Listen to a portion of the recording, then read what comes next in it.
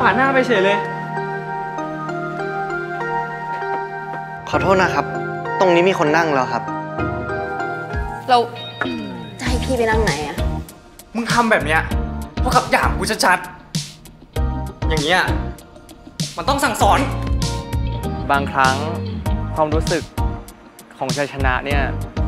ก็อาจเป็นรางวัลของมันอยู่แล้วนะครับ คุณลองกลับไปคิดดูเองแล้วกันว่า คุณอยากได้อะไร